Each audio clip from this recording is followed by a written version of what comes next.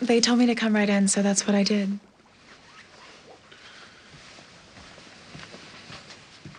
And you are? Weston.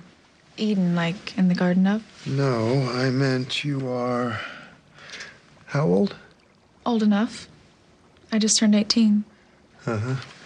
Is your mother or father going to be present?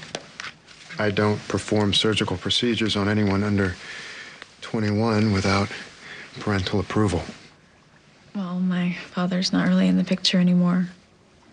And I'd be too embarrassed to talk about it in front of my mother. What is it you want me to do to you? Surgically, I mean. My hymen broke while I was riding my stupid horse at school. I could feel it rip deep inside. I want you to reconstruct it. Well, why don't we call your mother and just Look. talk to her about your problem? I'm still a virgin, okay? And I want to decide who to give it to. I don't want some damn horse deciding it for me. I mean, blowjobs don't count. That's just like kissing someone, you know? And anal's cool. I mean, guys don't mind as long as they get to stick it in somewhere. But your virginity, that's a sacred hole.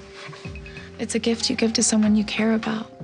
You know, I'm, uh, I'm not comfortable having this conversation without a parent present. Is that why you're squirming around like that? Because you're not comfortable? Or are you hard?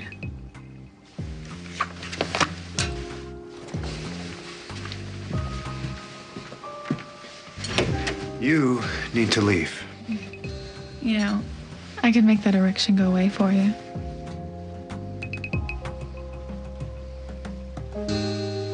I let you put it in my mouth, my ass. Two out of three's not bad, right?